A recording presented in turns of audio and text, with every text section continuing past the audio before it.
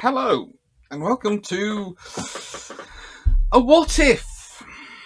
And it's definitely an interesting what if because it's a what if which puts the world back as the British were strategically planning it to be in the 1920s and 30s.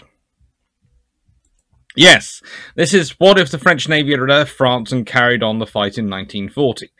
Now, here is the thing.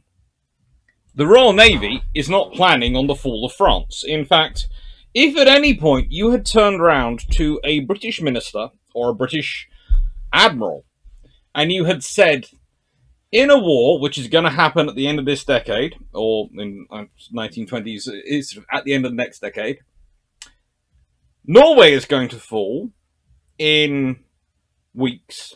France is going to fall in weeks and we're going to be end up, ending up fighting the entire thing on our own. Having to secure our Eastern Empire against the aggressive Japan, which we know is a problem, and which we're planning on right now, and also having to fight the Italians for control of the Mediterranean, fight in North Africa against the Italians, without the help of the French colonies which surround the Italian uh, uh, Italian colony, and therefore would have caused them severe trouble there. And uh, oh yeah, have to going to secure the Atlantic, where we're going to be bringing supplies, etc., resources across from French Atlantic and Norwegian Atlantic bases, where German submarines are going to be running from, out from.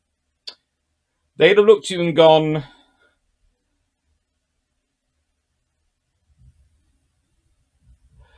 I honestly don't know what strategic scenario they'd have come up with to try and fix that. Um, possibly invade Ireland. I there. I'm not saying that as a facetious, entirely facetious response, because that would be some ready-made good farmland which could get some food and some more people, and you, you could have some more strategic depth to the British Isles it's not a good solution, but it is also a traditional British solution of anything if problems are going on the continent's going badly is to invade Ireland. I'm sorry, Ireland. I'm not encouraging it, although I think a few generations of my family were involved in it. There are some who marry Irish ladies, and some Irish gentlemen who marry our, marry our ladies as well. So you know, anyhow. But leaving that all to one side this is the scenario which the British were expecting. The British were expecting to fight any war in Europe with the French as their allies. Probably expecting to fight any war in the Far East with the French as allies. Probably the Dutch as well. They were not expecting to be in a scenario where the French were suddenly no longer fighting alongside them. And you can see this because in the British structures where they're agreeing to in treaties, etc., they are basically building a two ocean fleet, kind of like the Americans are building a two ocean fleet. But if you think about it, the British traditionally maintain a home fleet, a Mediterranean fleet, and would need a Far Eastern fleet. Well, if you have the French as well, then you have enough ships for the two ocean fleet and the French and probably the Dutch on your side to have a Far Eastern fleet, have a strong enough presence in the Mediterranean to keep an eye on, on the on the Italians, and have a strong enough uh, presence in the home waters to keep an eye on the Germans. And yes, there is always the lovely ruminated Plan Z, which, you know, the massive build-up of German ships and before we get into the usual rant I have of people who and they go, yes, where was the British equivalent to Plan Z? Well, the British equivalent to Plan Z was if anyone actually is building it, we have more infrastructure, we will build up to match and exceed it. So that's why the British don't have a big building construction plan.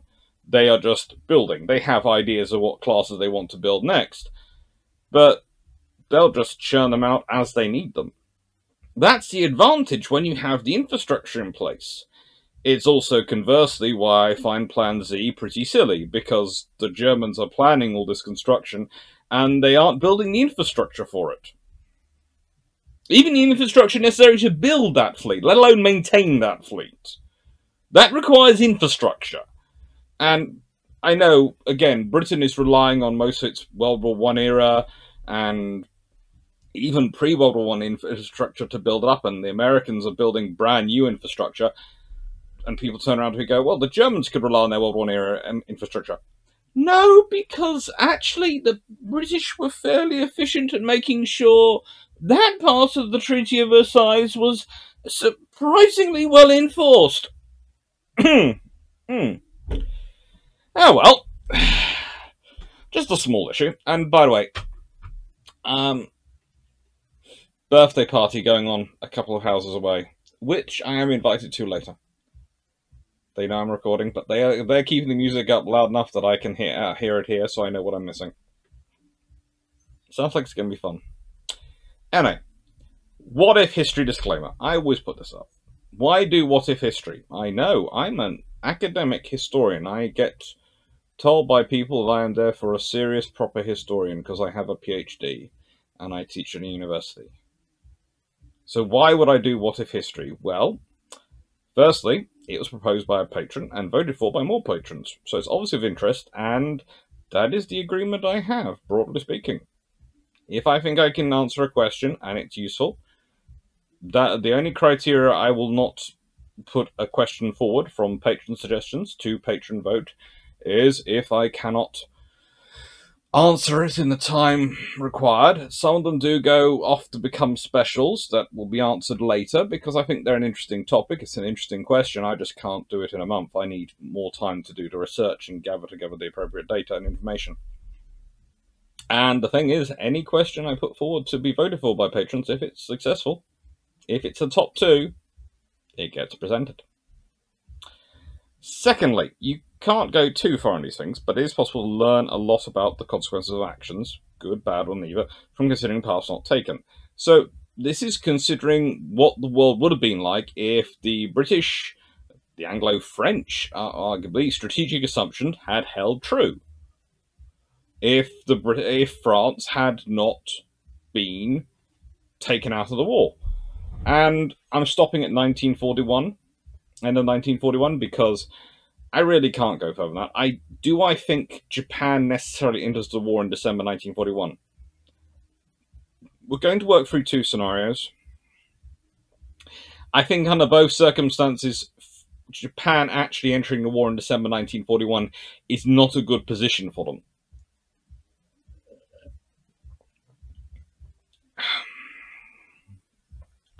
They might well still be forced into it because the timeline, remember, is not set by the Japanese necessarily themselves. It's set to an extent by the Americans' enforcement of various things.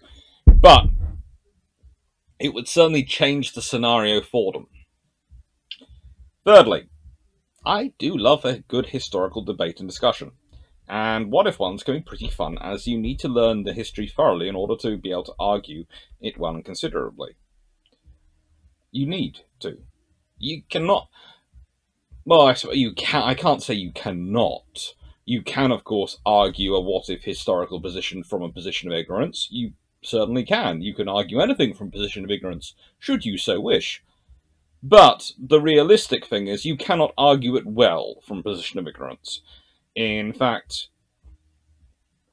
you can't argue anything well from position of ignorance, apart from the case of proving that ignorance is not a virtue. Finally, this is all mostly my opinion, based upon my reading of primary, secondary, and a few tertiary sources, the understanding of the plans that existed at the time, and therefore no one else is to blame if you don't like it. Really, no. And navalhistory.net and a few other places I have mined for images, and navalhistory.net I have flying for a list of where the French fleet were, because, well, I was going through actually a load of pink slips at one point in the UK National Archives, which did list where some of the French ships were. And then I was looking at some of the French documents I could get access to of where the French ships were, and they disagreed with each other.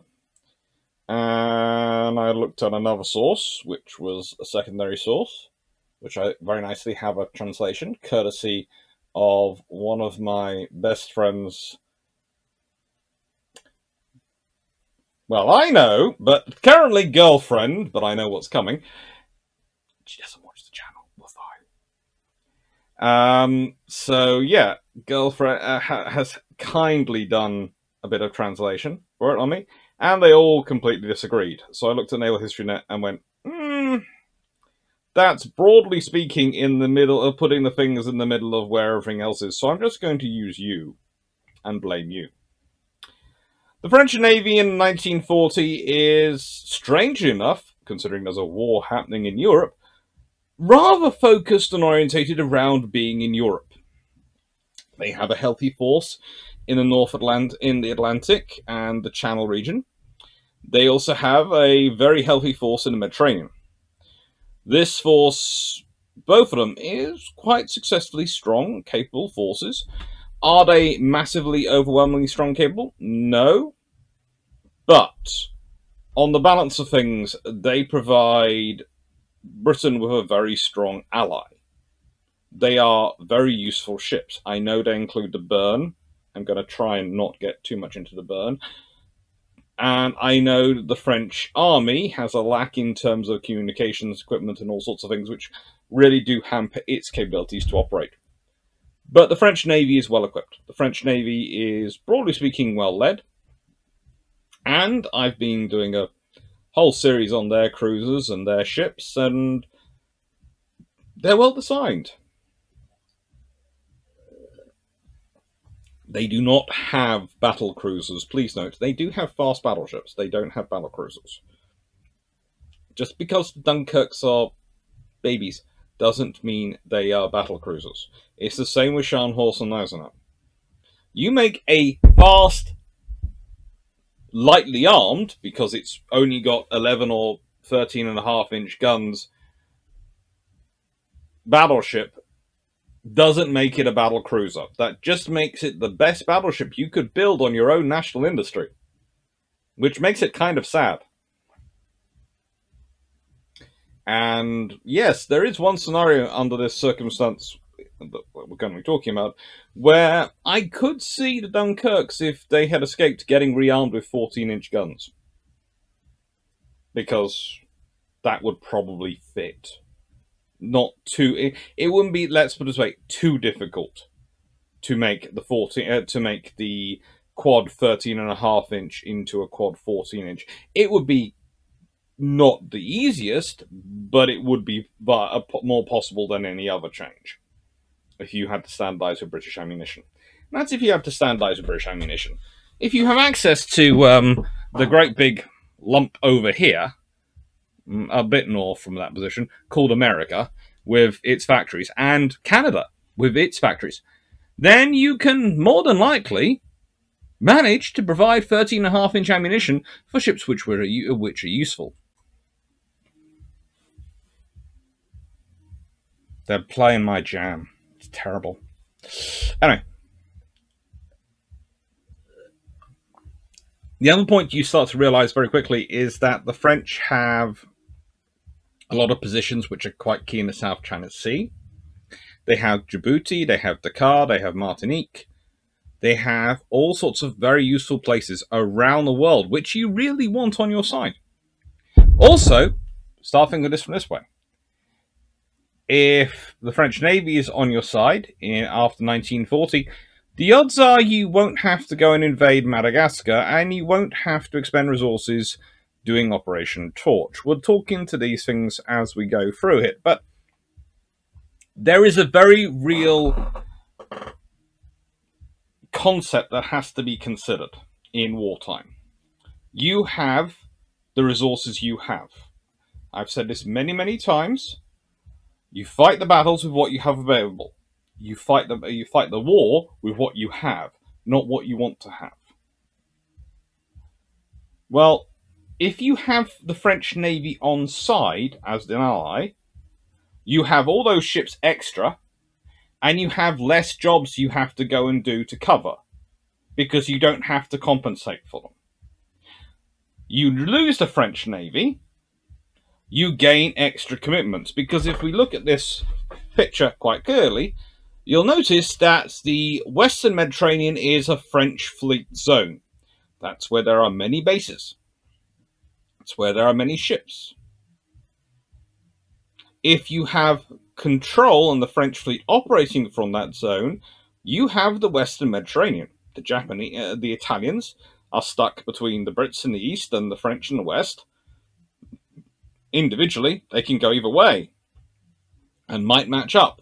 But if they go one way, and even if they win, the odds are they lose enough ships that the other fleet comes from the other way and goes, Hello! You look to be beaten up. We hear congratulations are in order. Please enjoy the congratulations with our celebratory shell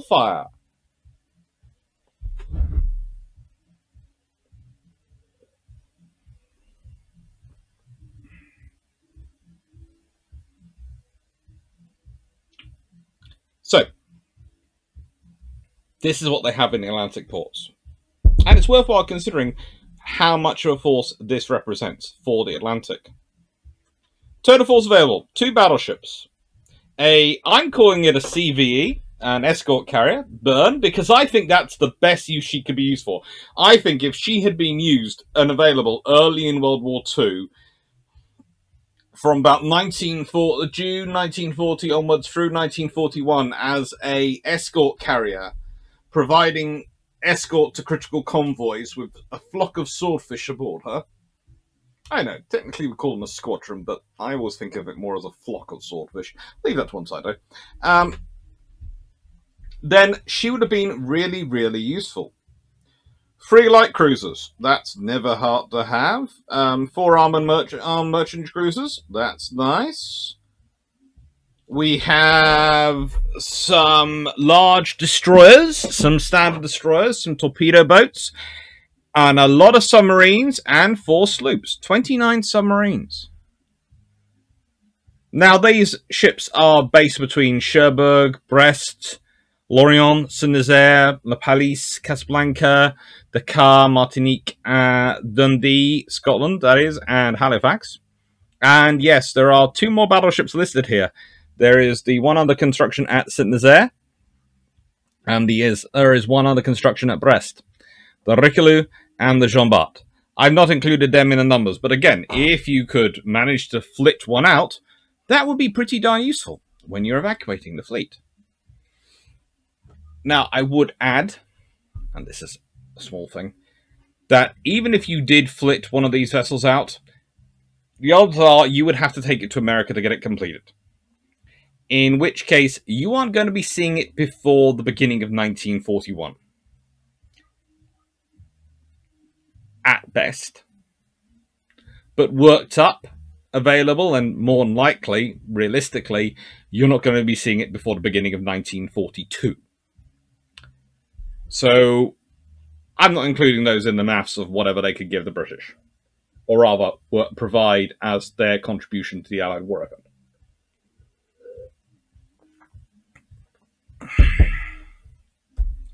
What do I have in the Mediterranean? Well, this is a rather more substantial force. This is five battleships, a seaplane carrier, eight heavy cruisers, six light cruisers, two armed merchant cruisers, 24 large destroyers, 18 normal destroyers, 6 torpedo boats, 45 submarines, and 9 sloops. And please note, of those submarines, have a look at how many are based in Tunisia. Now, why am I talking about Tunisia? Well, we have in Bizerte, we have three destroyers, three torpedo boats, and 16 submarines, two sloops, and an armed merchant cruiser. And in Sousse, we have another Tunisia, we have another three submarines.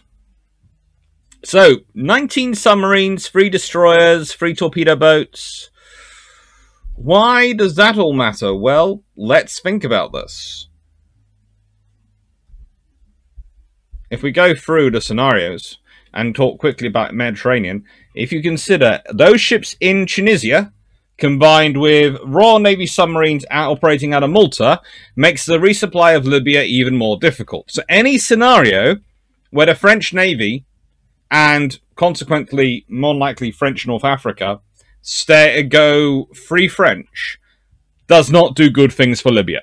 You not only have far more ships blocking the potential resupply of their forces in Libya, You also have the likelihood that they have, at best, a. Mm, how do I put this? Actively unhappy with them uh, borders on three sides. At worst, they have a foot invasion from every single direction. Not good for the Italian army. And the rest of the world, well, it is 1940. They have a light cruiser, uh, L'Amour Piquet.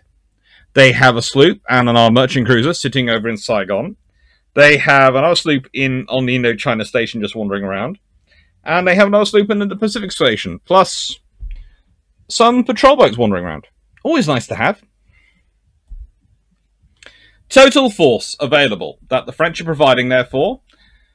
Well, if we consider it, they have seven battleships. They have an escort carrier. They have a seaplane carrier. They have eight heavy cruisers. They have ten light cruisers. They have a slew of armed merchant cruisers. Well, seven armed merchant cruisers. They have 29 large destroyers. They have 24 normal destroyers. They have 12 torpedo boats. They have Oh, wouldn't you believe it? Oh, it's almost it's too almost too gorgeous to say. 74 submarines. And they have 16 sloops and some gunboats. This is a significant force. Are all these ships Dunkirks and Strasbourgs? No. They are not all the, the sneakiest, modernist, most beautiful battleships you can imagine. However, are, is the whole Italian fleet made up of Littorios? No. Is the whole German fleet? Well, how many do they have? Four. Mm-hmm. And that's four eventually. At this point, they have two. One more coming, and one more coming after that. So this is seven battleships that already are in existence. The loss of France, fighting alongside Britain, is the biggest single loss of Allied forces of the entire war. And think about it from another perspective. That fleet is sitting in the Western Mediterranean. That fleet is what Force H has to take the place of. So Britain goes from having this securing the Western Mediterranean to having to provide a force in the Western Mediterranean to cover for this. They go from having a asset to having a liability. They go from having a benefit to a cost.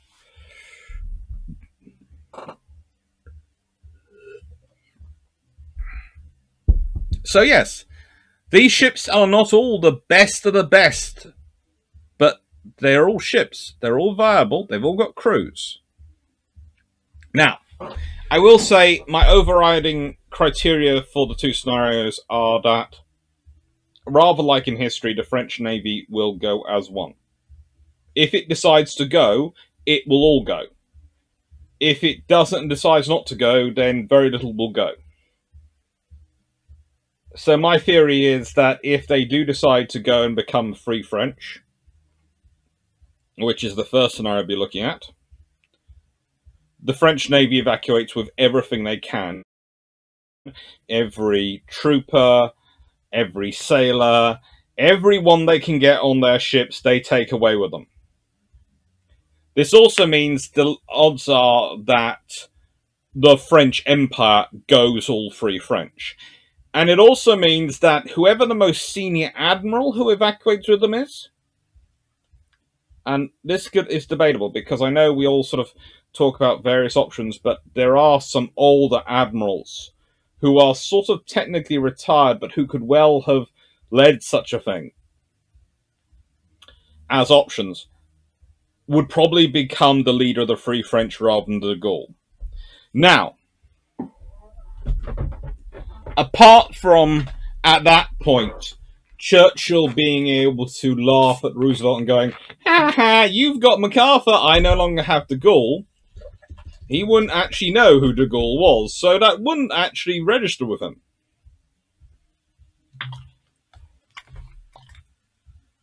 It could have been interesting. It could have changed France as we know it to this day, but it's more importantly in World War II terms, it would have changed the war massively. The Free French Navy. Everything goes. Now, what are their weaknesses? Their weaknesses are they don't have an aircraft carrier other than Béarn. They are they were sort of building talking about building some and they had designs, but especially if this one they lose France, they lose the industrial capacity of France. France itself goes Vichy France.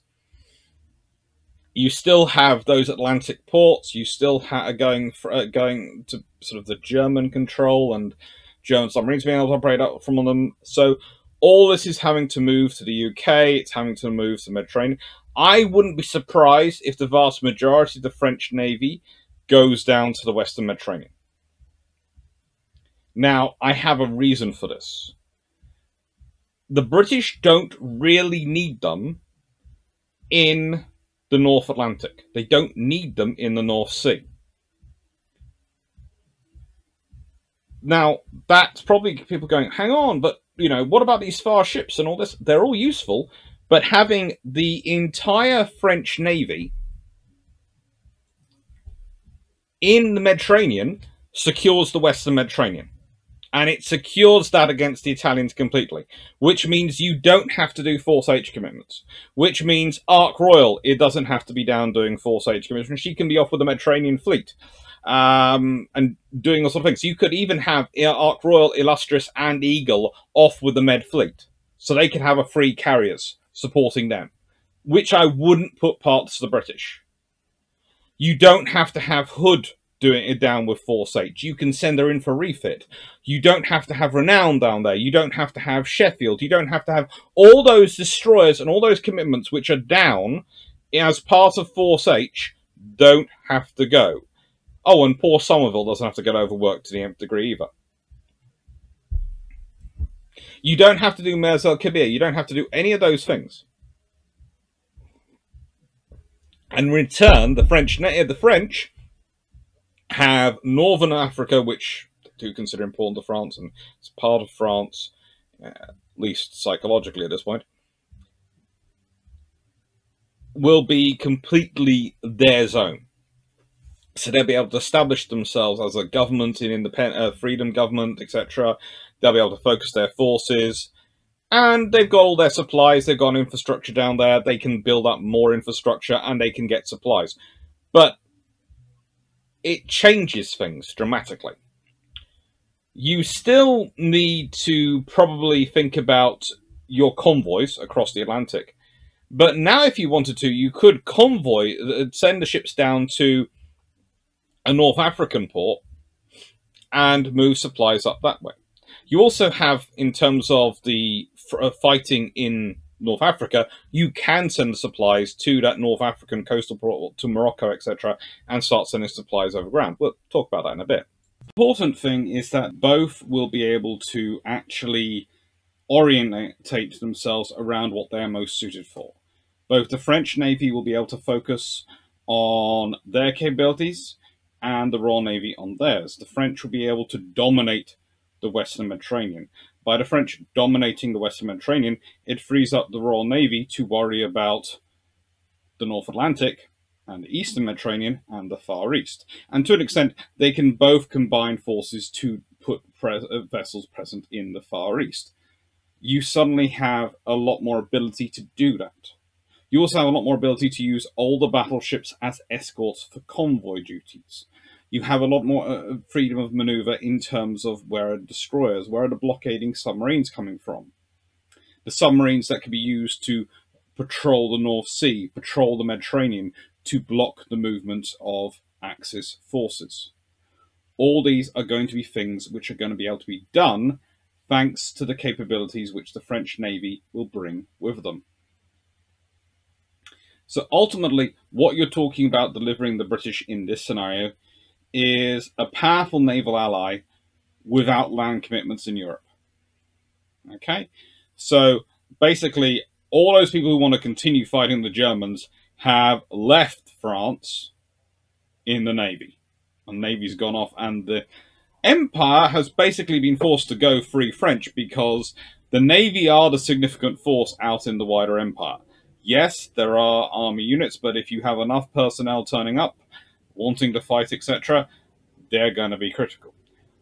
The likelihood is you have de Gaulle also as part of this force, and he will probably end up in French North Africa commanding the ground forces. Going for glory!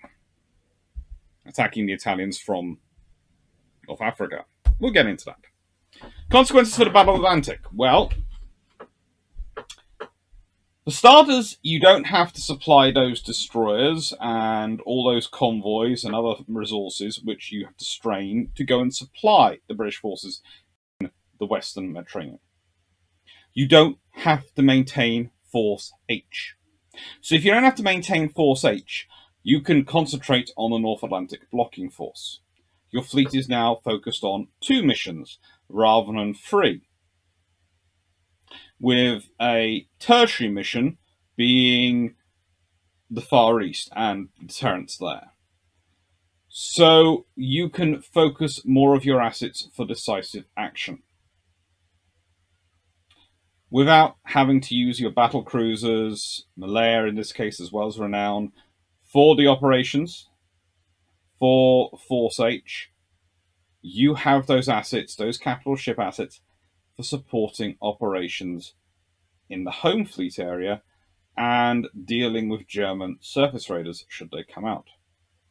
In simple terms, when Scharnhorst and Gneisenau go for a runaround, there are more assets in place to grab them or to uh, hunt them down.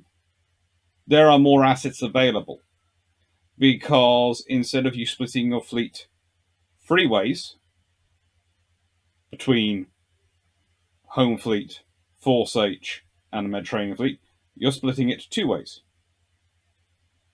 You probably still have most of the modern Queen Elizabeths end up in the Mediterranean. Because, honestly, pound for pound, the Italian fleet is more scary to the British than the Germans. Why? Because the Germans start World War II with Scharnhorst and Gneisenau. You do not need a lot of capital units to deal with Scharnhorst and Gneisenau. You just need enough and then to be fast enough and in the right place. This can be shown by the fact that HMS Renown, pictured here, took on them both solo, and they decided they would rather be anywhere else than facing her. Now, when Bismarck comes along, that's more problematic. But if Hood's been able to go in for a refit, which is likely under this scenario, uh, because she hasn't been needed for Force H and because Renown's able to be back with the home fleet supporting them, then you have a refitted hood for, available for that operation. Is she as massive a refit as would have been done pre-war? Probably not. Has she probably had some of her armor rearranged? Maybe. Will that stop the Golden BB? Who knows? But she will have had her engines reconditioned, she will have had her sensors upgraded, and so probably she's going to have the, a similar radar fit, etc., as Prince of Wales does, which is going to make her gunfire more accurate. That's a problem. But also, there's the fact that you could end up with an, a scenario where you have maybe Malaya up there with King George V and Victorious. You might even have a second carrier up there in the operations, and you might well have a force of Prince of Wales, Hood, and Renown. Now, that is a scenario which is not so good for Bismarck, because even if she does do a golden BB, there are still six 15-inch guns firing at her, and whatever of Prince of Wales is actually working. There's also the fact that you don't quite have the same pressure on Prince of Wales to be out and to be operational because of the reality of the scenario, because you do not have that wider commitments. You can be more paced because you have just that less requirements. The Battle Atlantic, though, is still going to be pretty vicious. Again, submarines will probably have more of an impact. Remember, there are quite a few submarines available in the French force. And whilst I do predict vast majority of the fleet in this scenario will end up in the Mediterranean, the French, I do think some of their submarines and possibly some of their heavy cruisers could well be supporting the British in the blockading force in the North Atlantic. I think that is a viable utility for them. So French heavy cruisers could be up there. I don't see their battleships, the Dunkirks, etc., being up there because they're being needed down in the Western Mediterranean. French battleships are good. They're not, well, they're good in terms of their crew. They are not the best of World War One era battleships. They are enough that in their group they can handle probably the Italians. Can they win?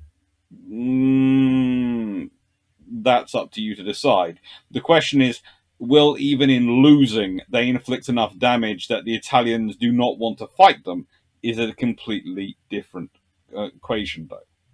And that's what they're likely to do. Especially when you combine with cruisers and other assets they'll have available, and aircraft from shore bases. Because remember, there are lots of shore bases for them in North Africa to support and provide them their support. Most important thing they can do is with their submarines, operating from Tunisia and Algeria will make life a nightmare for the Italians in trying to convoy to Libya. We can add on to that. If you are convoying to Malta, well, suddenly you just hug the North African coast after outside of Gibraltar, and you've got air cover the whole way. You can dive into French ports. And then to get to Malta itself is you're charging across from Tunisia. But Malta itself change in value very quickly.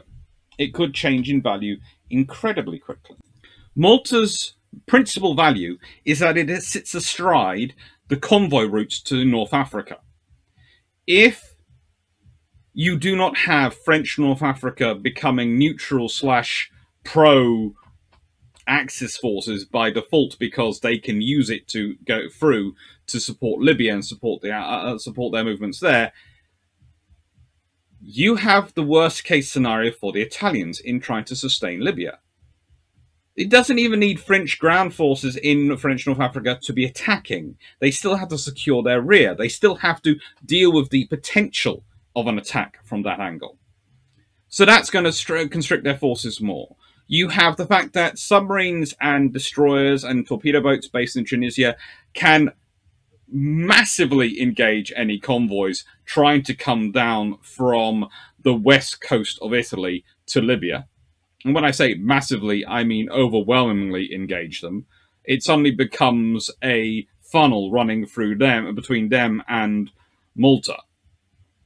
You've got the fact that forces in Greece, etc., will be having an impact in terms of uh, trying to get out of the Adriatic.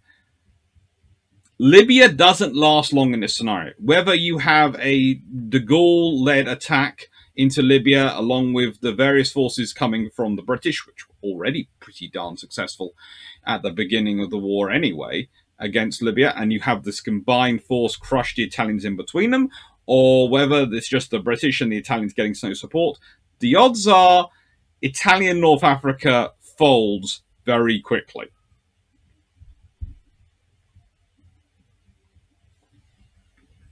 Long before Rommel can get out there. Under this scenario, therefore, it changes the war in the Mediterranean because Malta is no longer important from the point of view of bisecting the convoys. It's suddenly a forward reconnaissance base, but well, where are the Italian fleet going to? Where are their convoys going to?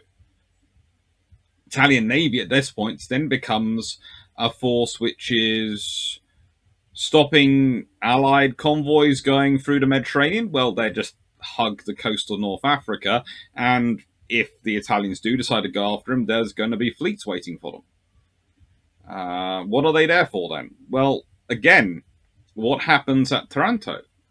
If they are gathered in Taranto again for supporting operations in Albania and Greece, as they were originally, then, well, Taranto might well be done, carried out by a British fleet, which would have maybe all three carriers it could potentially have. It could have Illustrious, it could have Ark Royal, it could have Eagle with it. Now, I think probably at least one carrier is sent to support the French operations in west Mediterranean. I don't think they get Ark Royal because the British aren't going to give them their biggest and best. They're just not. It, you know, it, it's just not what the French are going to get. And besides, they have their own land-based aircraft. So they might get Eagle. They might get Illustrious. But either way, you probably end up with Ark Royal in the Mediterranean fleet taking part in the Taranto operations.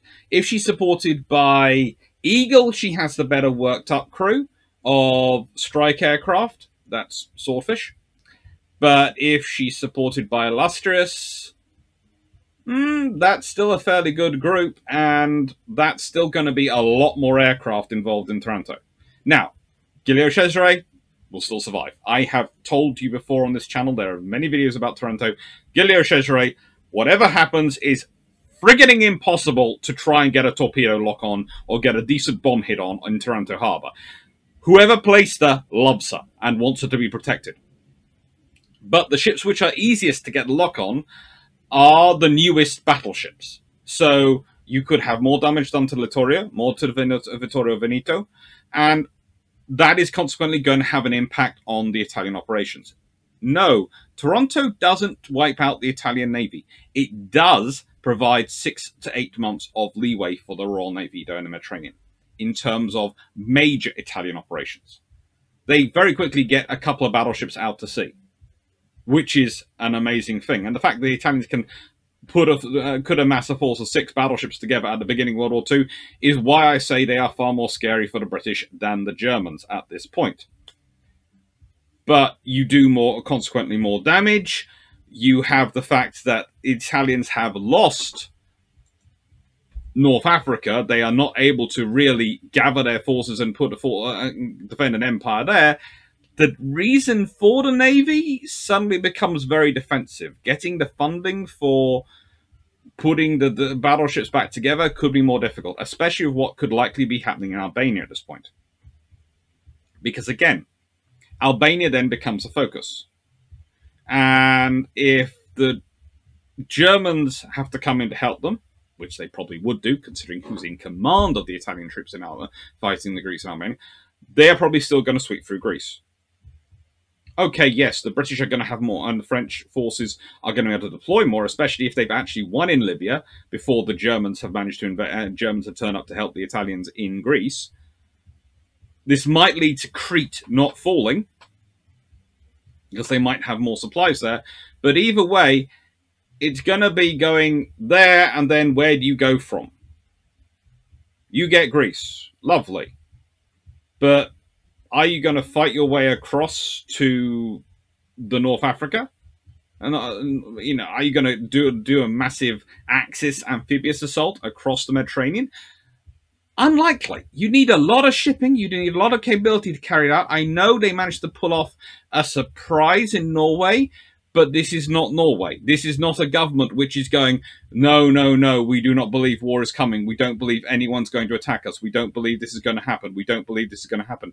This is a scenario where you have the British and the French at war, active, actively fighting you, and you have a lot of submarines there.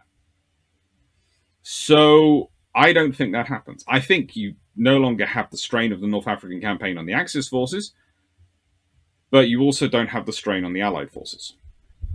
And the Mediterranean, instead of becoming a convoy battleground, becomes a sort of empty space. You might be considering launching a re invasion of France from there to get to southern France, or you might be considering uh, launching an invasion of Sicily or Italy. But that's going to be something the Allies are going to be considering doing, not actively, well, building up forces for, maybe, but not really pushing for.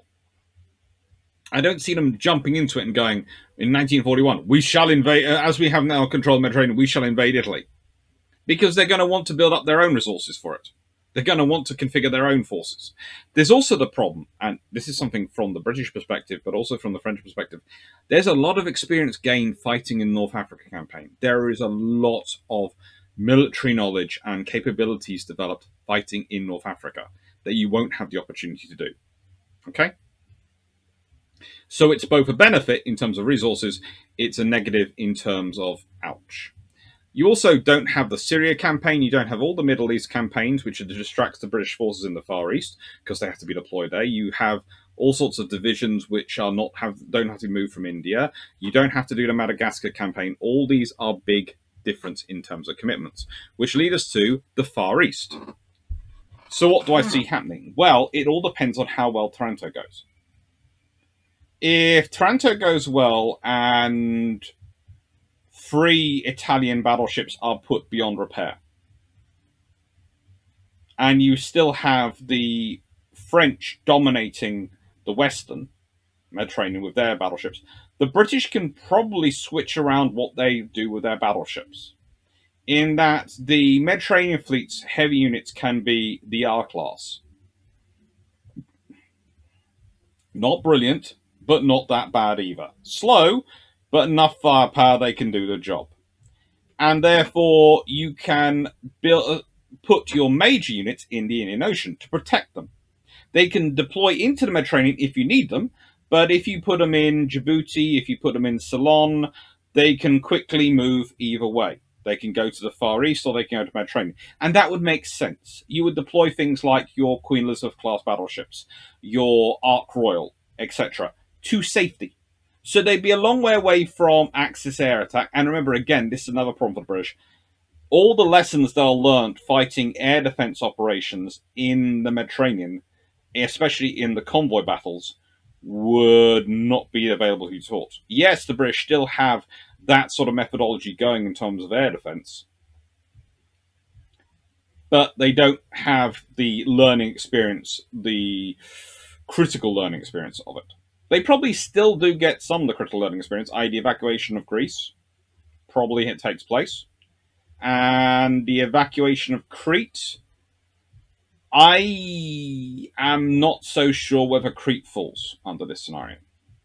And the reason I say I'm not so sure whether Crete falls is because if you've had the larger force, as I've said before, take part in Taranto, you've had more damage done to the Italian fleet, if you are sure the Italian fleet is weaker, then you're going to focus more on defense against parachutists and air attack, possibly for Crete, which could well change the way the layout. They might have also, how do I put this? If you don't have an ongoing campaign in North Africa, you probably have better commanders and better command structure because the, the command is not so divided in its focus. It's not focused on fighting Greece and fighting in North Africa and then dealing with the evacuation. It's not quite so overwhelmed.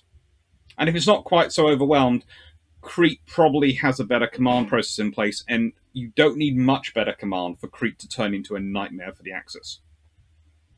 Which will again have an effect on things because you might decide to put a bomber force there. But also, having a fighter force there and having things there, kind of like having fighters in Malta, etc., and able to supply them from the North African coast, means that you can do a lot of interdiction of enemy air attacks and you can supply operations a lot easier.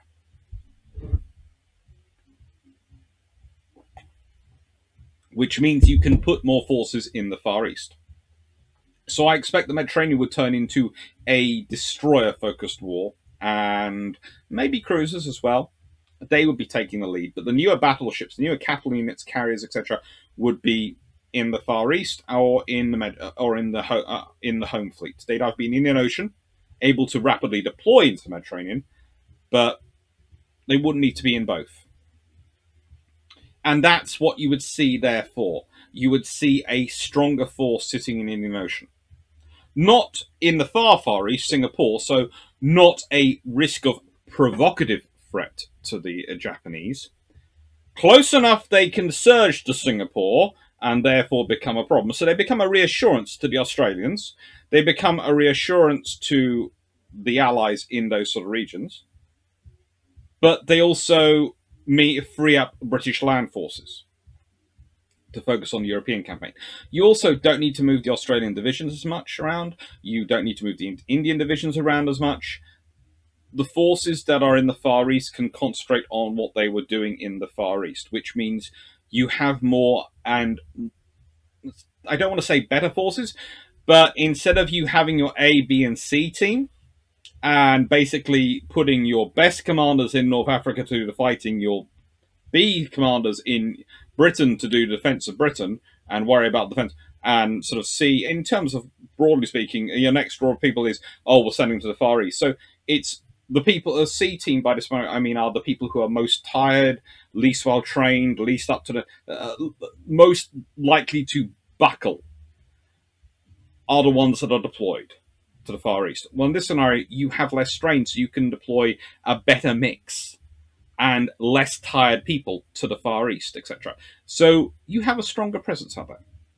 War in Europe would also be interesting. You'd still be fighting probably the Battle of Atlantic, but it'd be very different. And with the Mediterranean secured, you can have a lot more resources focused on one or the other.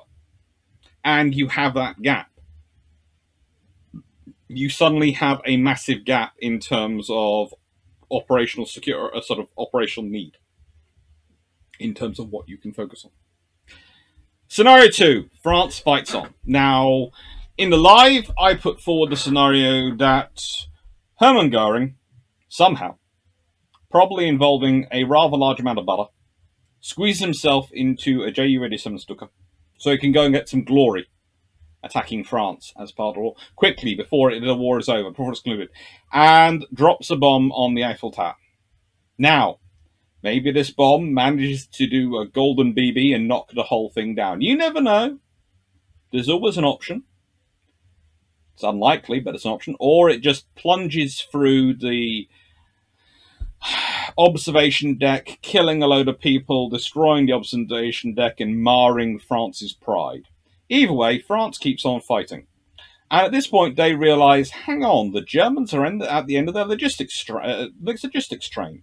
They can't do anymore. Remember how much, how many French lorries the Germans end up on depending upon to support, support their logistics, operating against the Soviet Union, operating in all sorts of other operations. They are using French lorries and getting French lorry production to support their army. Well, their logistics at the uh, by the time they're in the race Atlantic, etc., is starting to fall apart. They make it, and it's shock and awe they've got there. It's an awe they've achieved it. So, their logistics picture. France fights on. Instead of it being a free French force, France the war becomes a war in the centre of France, and it's not quite like 1914, 1918 because the French start mobilizing, the British, the second BEF is launched, and they start to fight on, and they that's the campaign going on. That's going to change things even more because instead of having the logistics issues that you would have had in terms of supplying the French fleet without French industry, you have French industry to supply them with their uh, with the necessary shells, etc., and things. You have the Italians fighting in southern, uh, trying to get across the border in southern France, as well as trying to go into Albania, and also fighting in Libya. Not a good scenario for them. And you have no longer got German control of the French Atlantic ports. So, that's going to change the whole spectrum of the Atlantic campaign.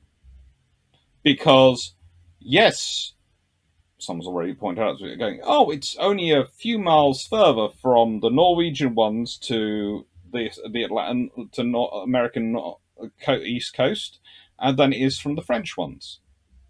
Yes, it is only a few miles further, but the seas are a lot tougher. The seas are a lot tougher and a lot rougher and that's going to have effect on your radius of action and how much support your milk cows need to give and what your ships are go- uh, your u-boats your boats are going to be able to achieve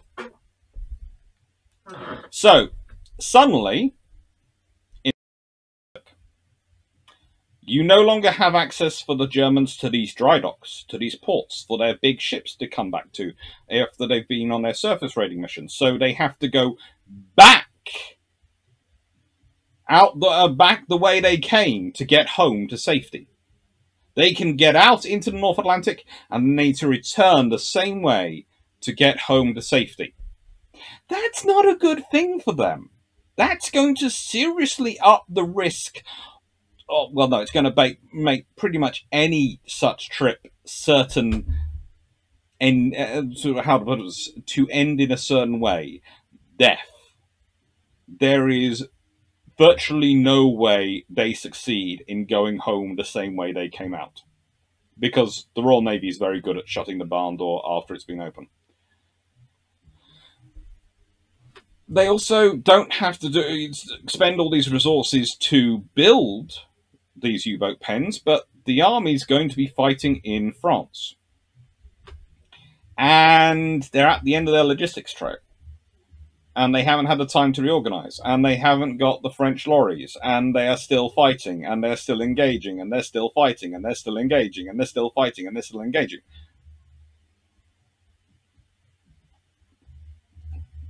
This is not going to be good for them. This is going to cause a lot of trouble keep fighting in France is not good for the Germans. It's not good for the Italians. It's not good for the French, let's be honest. They're going to see their country uh, once again devastated. And let's be honest, it's the psychological trauma of World War One which led to the decision-making process which led to the fall of France. The fall of France is not a military victory for the Germans it's a psychological one. It's shock and awe attacking a group who have suffered, arguably of anyone in World War One, the most devastating losses on the Allied side, and arguably the most devastating losses of any nation in the war, were suffered by the French. Entire generations are marred. Entire generations of leadership, of politicians, of military personnel are marred by what happens in France in 1914 1918 on the Western Front. It is devastating. However, under this scenario, they keep on fighting. And that is one thing you have to say about the French. In history, if they decide to keep on fighting, they are as stubborn and as unlikely to give in as anyone. In fact, more so than some. Which means none of those bases become German. There is an interesting question. Does this lead to Richelieu and her sister getting completed on time. I'm not sure. I honestly don't know. They, that'd be a significant commitment of resources, of personnel, which would otherwise be dra- uh, which otherwise be focusing on the new Western Front and the battle line. But there again, the French might decide they need to complete them. If they do, that's a major addition to the Allies.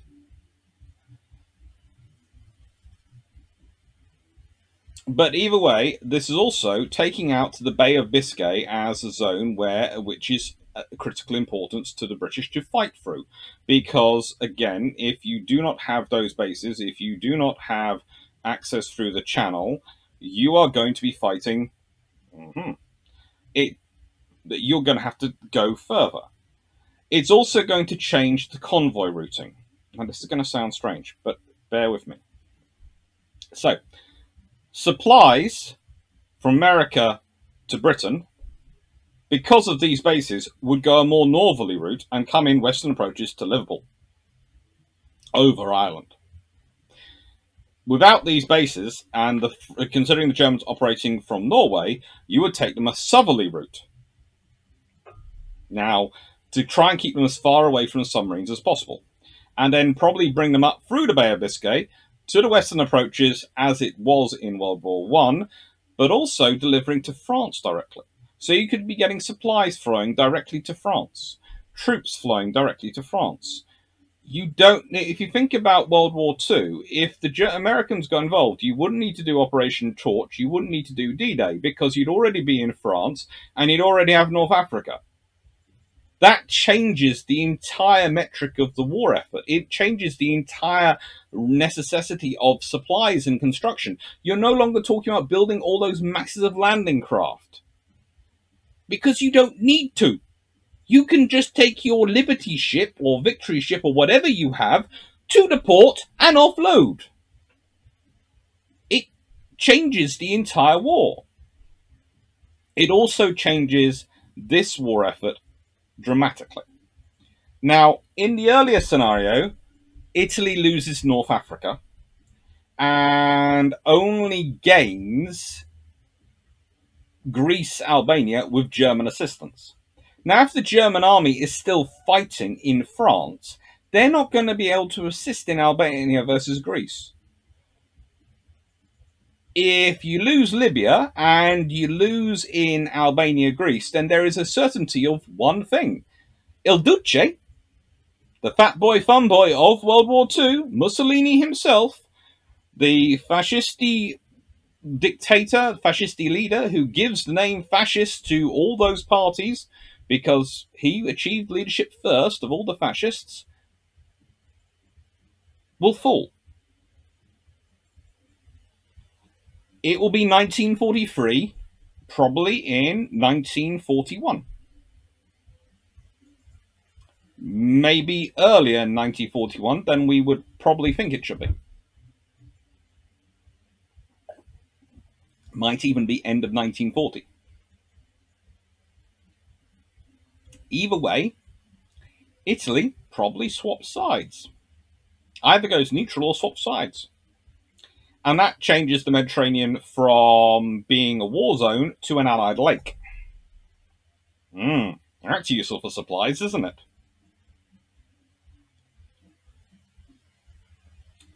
But it also means you could suddenly have Germany facing invasion from across the Austrian border from Italian troops trying to prove their loyalty now to the new regime. Ooh, trying to prove themselves the allies and hope that they get Libya and all their territories returned to them. And the Greek army, well, they're now victorious. They have fought a very victorious campaign, could well be supporting the Italians could be a combined Greco-Italian assault on the south, south of France, uh, south of Austria. Austria. The French troops who were holding the border against the Italians would be able to freed up to go and fight against the Germans up north. This is not a good scenario for a European campaign if France keeps fighting. And Italy does as this. What do I think happens under those circumstances? Does Germany keep fighting? Well, they won in Norway which is the prize they have, but do they keep on fighting? Do they manage to keep on fighting? With their logistics falling apart, with all the issues they have, because we know one of the reasons that delays themselves them in doing the thing, uh, doing the things, the invasion of the Soviet Union, etc., is the time it takes to rebuild, reorientate their armed forces around that after the operations they've done. They're not a paper tiger but they don't exactly have the logistics for a long war. This is a reality of Germany. I can't tell you whether Germany would fall at this point, but I have this feeling that Germany, if it's got Italy now fighting, it finds itself fighting Italy, Greece, France, and Britain, all sending troops. Yes, there's a major European mixer going on. Yes, there's a major war. Yes, it's draining all of them. The question is, what does the Soviet Union do? If they continue to occupy Poland, then they could find themselves as the bad people as well. But if they also turn, if Stalin decides Hitler's losing this, I'm going to take advantage of this to bolster my position by by invading the rest of Poland, I think Hitler falls. I think Hitler gets taken out. It's a scenario. And the Far East, well, you no longer have any Mediterranean campaign going on. You have no need for a Mediterranean campaign. If the war, even if the war isn't over in by the uh, by mid 1941 or a little bit longer, it's probably turned into a land war in Europe, and the German navy is probably bottled up mostly in the North Sea. Yes, they've got Norway to get them out, but there are enough resources now for that scenario that life is very, very difficult for them. What can we expect to see in the Far East? A lot of submarines. Because you don't really need submarines, well, many of them, in terms of Europe, uh, der those watching the German fleet. You don't need them in the Mediterranean for operations there because there's no need for them there. So all the submarines in the Mediterranean can go to the Far East. Uh, what else do you can you send to the Far East? Well, you probably want a couple of aircraft carriers for the home fleet, etc., to deal with the Germans, and some of the fast battleships, yes. But a lot of the force, Nelson, Rodney, Queen Elizabeth class battleships, Ark Royal, all those things, they're going out there from the British perspective, and you're probably getting forces from the French joining up. Again, it depends on which ships get completed, whether Stra- whether Dunkirk and Strasbourg stay as part of the fast force with King George V's and the battle cruisers to secure, well, to try uh, to secure the North Atlantic against German service large service raiders, or whether they get deployed as part of the forces to the Far East. Either way, you probably find Singapore is full up of ships and French Indochina probably, whilst might not have enough uh, a massive amount of land forces there, will probably have enough, as will India and Burma. And might even have British Indian troops sent across to assist uh, France in making sure it has enough troops in French Indochina. Which changes some things because in July 1940, why would the British close the Burma Road? Under Japanese pressure, the, the road to assist in national China is closed because Britain's fighting the war and it's it's suddenly losing France, losing it hasn't lost France. Why would they close the road? No, no, no. We're not closing it. We pretend we don't know about it. It's just about commerce and economic support going to nationalists. Uh, uh, it's just about commerce and trade. It's not. There's no military assets there. What are you talking about? You really going to push when we have the size of fleet we can deploy out there, deployed? Because, yeah, you might win, but how much will you lose and then fight that? And again, where is the fleet going to be based? Well, yeah, let's say it's based in Singapore. The Japanese would have to go all the way past French Indochina, past the Philippines, to get to Singapore. That's quite a long way. There's going to be a lot of submarines there, which might well spot them. So also, the Japanese don't get to go into, in September 1940, they go into and take French Indochina. That's 1940. September 1940. They didn't launch their attack on Pearl Harbor till December 1941, after they built a whole lot of resources there to support their operations. They're not going to get that in September 1940 because the French are going to fight. So if Japan goes into French Indochina, it's going to start a war with the Allies. And this is the problem for another problem for Germany because if Japan did that, and Japan knows this, Britain will, of course, fight for the uh, side of the French. The Americans cannot afford for the British to humble the Japanese, which is what the Americans would certainly perceive the British would do, because remember that Americans are pretty darn racist in some levels, but in their perspectives at this point when it comes to Japan, at least a large number of their leadership is. And they'll presume the British will win, in which case the British will secure the overwhelming powerful position in the Far East, as the British call it, uh, in near a, in Asia, as the Americans would term it at this point, and will ultimately undermine the American position there. For that. So, this is what you're dealing with. You're dealing with a scenario where it's very realistic that if the Japanese tried that in 1940, in September 1940, if they actually carried it through with the French going no, there's a war, and the Americans join in, as well as the British, and so you have the Americans getting involved in the in World War II in September 1940 because if they form up on side to defend the, their position in the Far East against the Japanese, they might not send troops to the European theatre, but the amount of supplies that are going to start turning up in the European theatre are going to be dramatically increased. That's a reality. If Germany's silly enough to declare war on them as well, then troops turn up. And again, you don't have to do D Day. You don't have to do any of those major operations.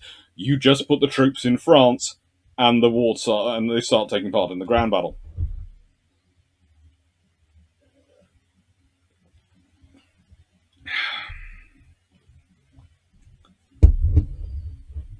Either way, the war is shortened dramatically.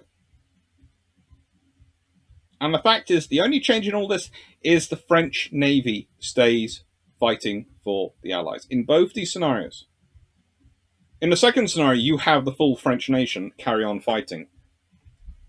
It would not be easy. Please note, I am not saying that they are in an easy position. They've got a large chunk of their army cut off and surrendered because of the speed of the German advance. They've got the problems of their own radio communications, which they've shot themselves in the foot with. There are all sorts of problems in scenario two.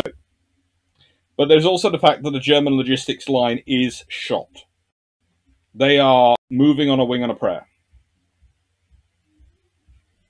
And if the French political class had not been defeated mentally, mostly due to the experience of World War One, uh, World War One, there could well have been a very different scenario. But even on the scenario one, there's no need for Operation Torch. Malta runs are very different. You know, it could be just an Abdiel class sitting in Tunisia, going backwards and forwards with all the with the equipment it needs. Uh, the convoys take it to Tunisia, and then Abdiel class and the various uh, fast French cruisers taking alternates to move supplies to Malta. And the Far East has the potential to be very, very different because you have a larger force there. And the Japanese suddenly have to think that through. Let's say under scenario one, you have a, Na- a Navy force based in the Indian Ocean. Okay. Attacking the Americans at Pearl Harbor or attack the British in the Indian Ocean. Those are your options. Which one do you start the war with? Well, to attack the Americans at Pearl Harbor, you can potentially get there without them telling you're coming. Because you go across through the Central Pacific and you avoid shipping lanes, you avoid positions where you'll see other people. If you were to try to attack the British in the ocean, how are you going to get there? You're going to have to go through strait somewhere, and that runs the risk of spotting and being spotted by people. Uh, you have to go past very, very busy shipping lanes. Do you go round Australia? What's your route? And remember, those are all British, Dutch, French territories it's not a good look and it's not a good scenario for you. So the odds are you don't. You go after the Americans. And then you strain your forces getting your navy ready. That's also going to change your response though, if you think about it. If we consider ABDA command, okay, that is in enough trouble thanks to loss of Force Z. But if you haven't got French Indochina, your first invasion is going to have to be either French Indochina or the Philippines. Which one are you going to send your forces for? Either one you send for, the British fleet will roll to Singapore. That fleet will be carriers and capital ships. The Dutch forces, the French forces, all the other forces around there will form up around them. That will become a major force. That is not going to be a partial fleet operation. That's going to be a cruiser-led operation. That's going to be as many carriers and capital ships as you can get to go and fight that. That is going to be a Kantai Kessen. It's going to be a decisive battle. Because that's what you're aiming for. Under that scenario, you're hoping to draw that fleet in so you can fight a decisive battle and win.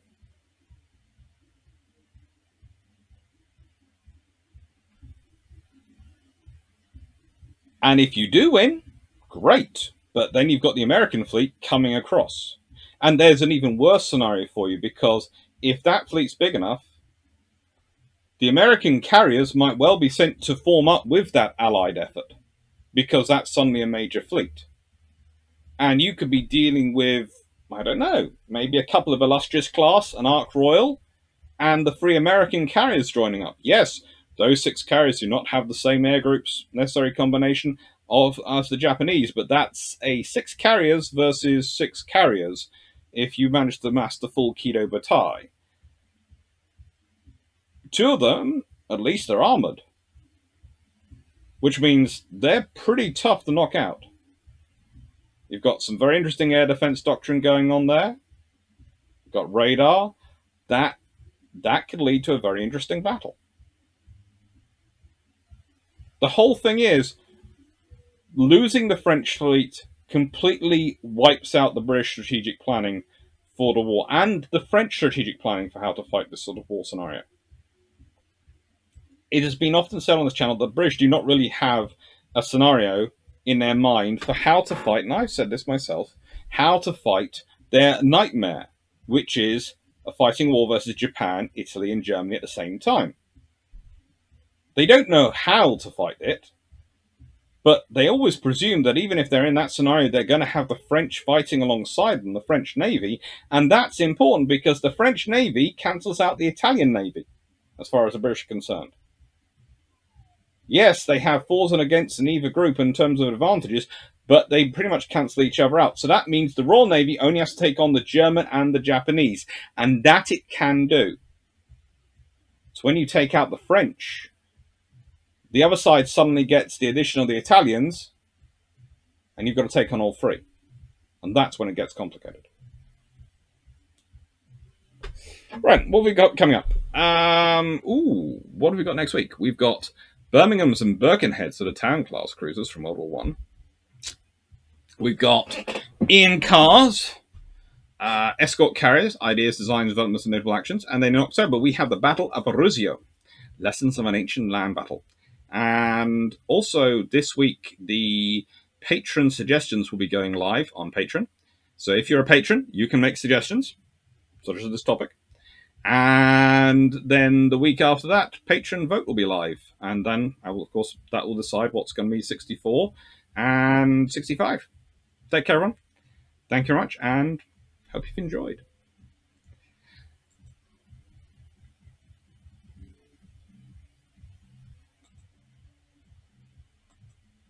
And I'm going to add, because I do try to make it as honest an understanding of what it's like to be an academic as possible on this channel. So, it's life is fun, but at the moment, life is going okay. I have the support of all of you, which is a massive advantage for me compared to uh, many of my colleagues. I do tell them they should set up their own YouTube channels and these sort of things, but most of them don't seem to believe me that you're as supportive as you are. I them to watch the comments and actually look at the uh, watch the lives, but you never know. Anyway, leaving that to one side. This week, believe it or not, I was supposed to receive some paychecks. I was sent emails on Monday confirming they would be coming through. Okay, happy times. Friday happens, they didn't arrive. Call them up. Oh, sorry, it'll be next week. We made an error. That's not unusual. In fact, I actually now factor that into my financial planning, that my paychecks will be late. And I know it's not just in the academic sector. I know it isn't. But because of the way academics are paid, especially contract lecturers like me, who are technically unemployed for two months of the year, so that the university doesn't have to, even though we actually do some work in those two months, but leave that to one side. So the university doesn't have to do all sorts of things they'd have to do if we were um, uh, considered full year employees. All sorts of pieces of law come in place. That delay can be absolutely chronically damaging. It isn't chronically damaging to me now, thankfully, because I have Patreon, I have YouTube, I have, thanks to your support, I have those things. But it does delay things. There is a reason I haven't done a computer's been ordered video, because that's been delayed. So the money which is assigned for the computer, in my case, and this is this is something commonly which happens with academics and with lots of people, I imagine, on low income uh, who have, how do I put this? I wouldn't call myself low income, but I would call myself subjective income because the income sometimes is subject to vagrancies of life. You sort of go, right, instead of spending this money, which I've saved up for this thing, I'm going to keep it till the next paycheck comes in, and then I'll spend the money when I know I've got enough the next money for uh, the money for the next month's uh, next month's costs in. So you have to watch constantly. It's all about budgeting. It's all about money management, and this is something I do wish actually I used to always give it instructions about it in when I was doing my welcome talk for PhD students and explain, especially also to master students, explain to them how you structure your finances as an, as an academic when you're going into it, because it isn't taught enough. And I think it's good actually money planning, financial planning for most people. You save up money for something before you spend that money. Make sure you've got the money for the next couple of months coming. If the money is delayed, you hold on until it comes in because otherwise you can be caught out and you can be functionally bankrupt and the world is not kind for people who are functioning bankrupt. Bank managers become all sorts of very polite but very unhappy with you. And it's not good. So, there you go. Reality dose of academia. Tenure posts are great. If you get a tenured post, and uh, that's a full time contract, you are very happy in academia you are overworked to the nth degree. I know, I see my sister. I love her dearly, but she is overworked to the nth degree. She has to do all sorts of committees, all sorts of teaching. I think she puts on average a 90 hour week. I mean, there's not a day of the week she isn't working for her university. There's not a day she doesn't receive phone calls. She doesn't have to do, deal with student issues. Uh, this is on top of doing her research, which she has to do, otherwise they won't promote her. And doesn't and the department's ranking will suffer if she doesn't do the research. This is on top of her teaching load. This is on top of her mentoring load. She also has to deal with endless other things. And yes that's normal in a career but i'm not quite sure if academia realizes it's normal in its career because they seem to forget they need a life outside of work and in academia because it's so vocational and i know there are lots of other industries which are like to now consider themselves vocational, but academia has always considered itself a vocation, a calling, as much as a career. There is almost less of an understanding of, oh, you have something you want to do outside of it. So that's the that's the payoff for tenure. But if you don't have tenure, if you don't have that full time permanent post, then you have the other trouble in that the university almost uh, universities almost seem to expect you to act like you have that full time post whilst paying you a fraction. You know, I it's not something I'm unused to doing is having to negotiate with universities over back pay. And when I say back pay, I mean, oh, we have miscalculated your pay or this, that, and the other. And you go, okay, I know that. I've told you about this. It's now been a few months. What am I going to get? And that causes fun with a tax man. It's brilliant. You know, I've, now I've said this before, is thank you to all of you. I know I do these things uh, quite occasionally. You probably sometimes some of you are probably sick of hearing them, but the point is, I every time when it happens, I do it because I love naval history. I love being the academic. I love teaching students. I love doing all that stuff. It's a lot of fun and it's a very fulfilling career. But I think it's behoven on anyone who does this sort of public facing side to be honest about the problems as well as the benefits. Which means when I have the problems, I tell you about them and I also tell you about the benefits. So you so anyone who's watching me and who's thinking about doing it themselves has as accurate a picture as I can give them of what the reality of modern academia is. To quote one friend who I was talking to recently, academia is getting very good at eating its young at the moment. And they're going to be fine for the next decade. But in two to three decades' time, they're going to have real trouble. They're going to have real trouble. Thank you very much for watching. Thank you very much for your support. As said, I couldn't be doing any of this without you. And thank you. And soon I hope to have the new computer bought all the components and then I will build it and I will do a video of me building it for you all. And uh, then hopefully it will solve all the problems. Take care.